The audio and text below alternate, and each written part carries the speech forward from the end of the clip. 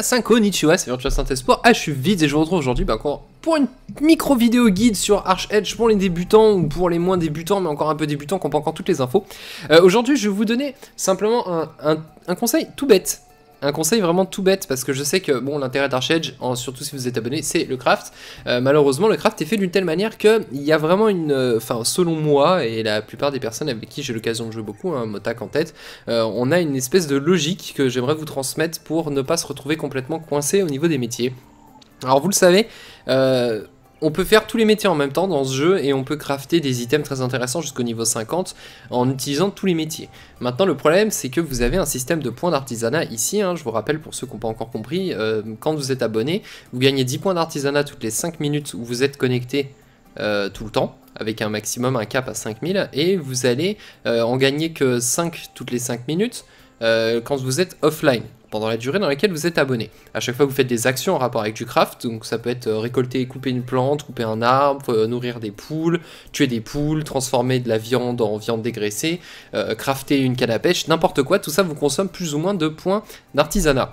Il faut savoir une dernière chose, c'est que vous avez quand même des niveaux, alors vous les avez quand vous allez dans talent, c'est la touche K, et que vous allez dans compétences, voilà, vous avez tous les métiers du jeu et leur niveau.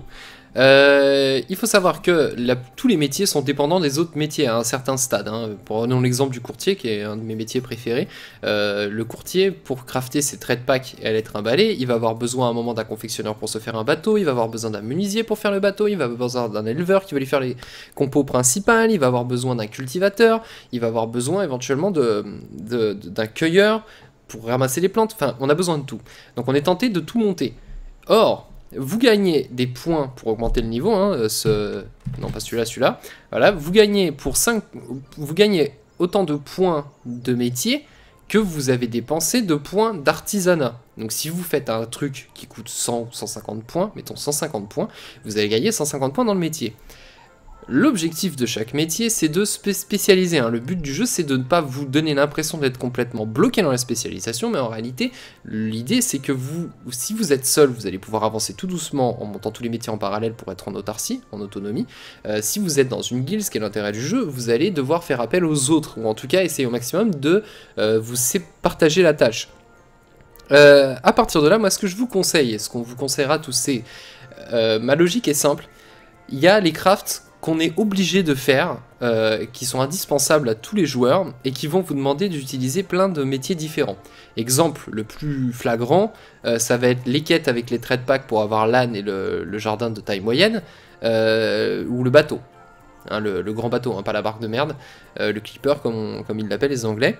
là pour ces métiers-là, vous allez avoir besoin de plein de choses. Donc, pour ces métiers-là, deux solutions. Soit vous essayez d'en faire le maximum seul et vous essayez à l'occasion, si vous croisez des potes ou des amis, bah, vous leur les trucs. Moi, par exemple, j'ai un ami qui est tailleur et j'ai un ami qui est, fabri euh, qui est euh, maçon, je crois, ça s'appelle Non, si, maçonnerie. Euh, bon, bah, du coup, et, et moi, j'ai un peu monté l'extraction et forgeron. Donc vous allez normalement récolter tout ce qui est farming qui prend du temps, vous allez faire vous-même. Donc vous allez déjà couper des arbres en les plantant dans votre jardin, vous allez couper du coton en les plantant dans votre jardin, et vous allez euh, récolter du, surtout du fer en vous baladant dans la nature. Ça, vous êtes quasiment obligé de le faire, ça la fout mal, sauf si vous avez comme moi des bons potes avec qui on sait confiance, on sait qu'on va s'aider mutuellement pour faire tous nos bateaux. Euh, c'est difficile de dire à un mec, bah écoute, farme pour moi parce que c'est ton métier. Le mec, c'est ok, c'est son métier, mais il préférait farmer et éventuellement vendre à l'hôtel des ventes, ça lui rapportera beaucoup plus. Euh, donc ça, vous êtes obligé de le faire. Par contre, transformer les compos, parce qu'il y a deux stades, hein, vous les transformer en, en, lingots par exemple le fer, puis ensuite en un bloc de 100 lingots que vous allez trimballer sur votre dos jusqu'au bateau pour le construire.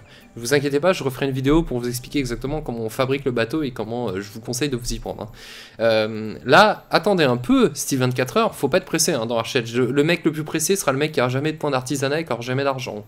Euh, demandez à votre pote, envoyez-lui à la poste, à votre pote de confiance, envoyez par la poste en lui disant écoute voilà les 100 lingots, est-ce que tu peux me les transformer, euh, enfin les 100 de fer, transforme-les-moi en 100 lingots s'il te plaît. C'est important de le faire, même si on ne peut pas le faire parfaitement, vous voyez, moi j'ai monté un peu tous les métiers malgré moi, focalisez-vous, choisissez vraiment le métier que vous voulez faire absolument. C'est-à-dire, voilà, vous décidez, ok, moi par exemple, moi je sais que le métier que je compte commence à monter à partir de maintenant parce que c'est vraiment un qui me plaît, c'est la pêche. Un autre métier que j'aime bien, mais un peu spécial parce qu'il n'est pas très très gourmand en points d'artisanat, et surtout que c'est le seul métier qu'on peut monter sans dépenser des points, puisque c'est le négoce, et le négoce, vous faites des points en ayant simplement un sac sur le dos en vous déplaçant avec, en plus de le fabriquer au début et à, la fin. Euh, donc je vais monter que négoce et pêche. Ça c'est vos deux métiers principaux et c'est bien d'en avoir deux. Ça peut être des métiers complémentaires comme non. Hein. La pêche ça peut être plus ou moins complémentaire. Le négoce c'est dépendant de tous les métiers. Euh, focalisez-vous sur ces métiers là tous les autres métiers, dans la limite du possible, faites-vous 3-4 potes, invitez des potes à venir jouer au jeu, c'est free to play, il n'y a, pas de a pas de raison de s'en priver. Essayez de vous partager le travail, soyez patient, parce que ça va vous permettre de garder un maximum de points d'artisanat et de conserver ces points d'artisanat pour monter les métiers qui vous intéressent, parce que monter un métier à partir d'un certain niveau sur tous les métiers de récolte, ça devient extrêmement chronophage et gourmand en points d'artisanat, vous en avez besoin, et d'autant plus que euh, vous allez régulièrement avoir des crafts qui sont indispensables à faire pour votre métier ou pour vous personnellement. Par exemple, le bateau, si vous êtes pêcheur, le bateau de pêche, fabriquer votre maison, ce genre de choses, ça va vous coûter la méga blinde en points d'artisanat. Ne dépensez pas tous vos points d'artisanat en montant ou en dépensant dans tous les métiers en faisant tout en même temps. Petite note, quand on débute, on est vite tenté de faire de la cueillette et surtout de l'élevage. Méfiez-vous, l'élevage, c'est un gouffre à points d'artisanat. Faites de l'élevage, peut-être un peu au début pour vous lancer sur l'économie parce que c'est assez simple à faire et que ça va assez vite. Mais attention, l'élevage, ça vous oblige à faire, à cultiver, à cueillir, à transformer, nourrir les bêtes, élever les bêtes, tuer les bêtes. C'est hyper, hyper, hyper gourmand en point d'artisanat, donc méfiez-vous dessus. Hein. Je connais beaucoup de personnes dans mes potes qui sont littéralement fumés leur point d'artisanat et qui sont tout le temps en dèche maintenant juste à cause de, cet élevage-là, qui est surtout l'élevage de dindons où on les nourrit, ou les poules, on les nourrit toutes les heures pour leur faire tomber des œufs. Ça a l'air rentable, mais en réalité, ça vous bouffe tous vos points d'artisanat.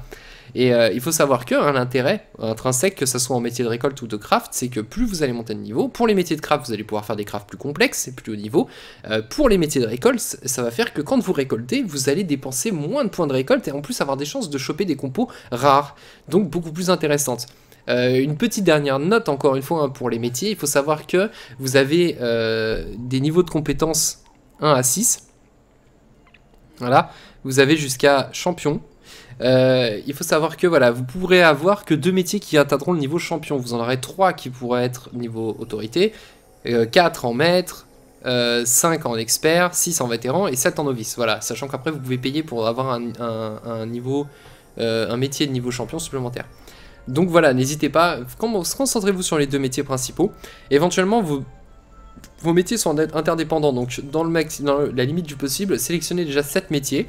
Voilà, vous ne faites jamais rien en dehors de ces 7 métiers. Jamais. Hein c'est tout. Et dans ces 7 métiers, il y en a deux qui sont absolument prioritaires. C'est-à-dire vous essayez d'en faire un maximum, quitte à ce que ça vous apporte pas spécialement grand-chose, que vous n'en ayez pas besoin, juste pour quand vous avez trop de points d'artisanat, vous les dépensez dans ces métiers en, en, en, en, en au maximum. Je vais y arriver, je parle très bien français, n'est-ce pas? Et pour les autres, bah voilà, vous en avez 7, puis 6, puis 5, donc euh, vous allez euh, resserrer l'entonnoir petit à petit et vous allez finir sur vos deux métiers. Voilà, bah, j'espère que ça vous servira, hein, parce que les points d'artisanat et le craft en général, c'est hyper important dans ce jeu, et on a un peu tendance à se jeter euh, tête baissée, comme moi je l'ai fait au début, et à tomber en rate de points d'artisanat, et bah, ça coûte entre 10 et 15 PO en ce moment d'acheter une potion qu'on peut boire une fois toutes les 12 heures, qui vous remet 1000 points d'artisanat, qui si bah, vous n'êtes pas assez rigoureux sur votre manière de gérer vos points d'artisanat, vous repartir dans les deux heures qui suivent et vous allez être encore en rade. J'espère que cette vidéo vous aura plu, est-ce que j'espère que grâce à moi, hein, vous allez arriver à monter plus facilement des métiers importants, vous faire plein d'argent, parce que c'est aussi euh, l'intérêt de la chose, et surtout que vous aurez plus de problème avec ces putains de points d'artisanat qui sont jamais en, en, en, quantité assez importante pour pouvoir euh, crafter joyeusement sans trop se poser de questions ni la regarder. Vous laissez un pouce vert si vous avez kiffé cette vidéo, vous n'oubliez pas de vous abonner à la chaîne pour pas rater les nouvelles vidéos guides sur Arch Edge, vous pouvez faire tourner la vidéo sur les réseaux sociaux, et on se retrouve très bientôt pour de nouvelles vidéos sur Arch Edge. Allez, salut